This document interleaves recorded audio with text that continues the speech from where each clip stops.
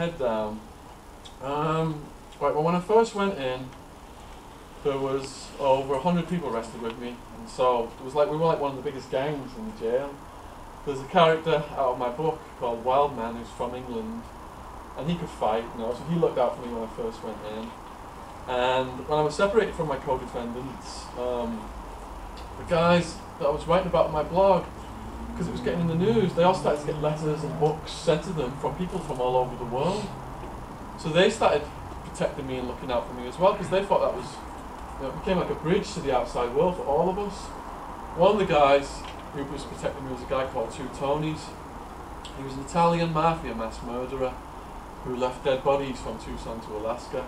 But he claims they all had it coming because they were rival gangsters. So he didn't see anything wrong with that. And I wrote, I used to sneak into his cell every day writing his life story and we put his blogs on the internet.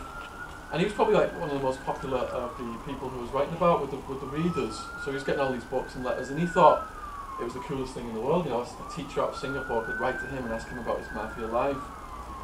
So I'd say that having alliances with the right people helped me. I try to stay away from the gang stuff and all that. You can be independent, you don't have to join a gang to join the gang, you've got to commit these acts of violence to earn these tattoos, and they called me a blankie because I had no tattoo.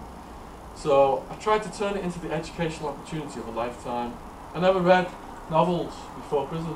I was told reading would improve my writing. I read about a thousand books while I was in there. Went on this fantastic journey through literature. Wake up, start reading, and just until my brain's aching and my eyes are stinging. And so my English has helped me. You know, they, they would ask me if I knew the Spice Girls and if I knew the Queen, and I'd play along with it. My sister happened to go dancing school with Sporty Spice, so that helped me. And um, believe it or not, I actually had guards and prisoners on separate occasions ask me, "What language do they speak in England?"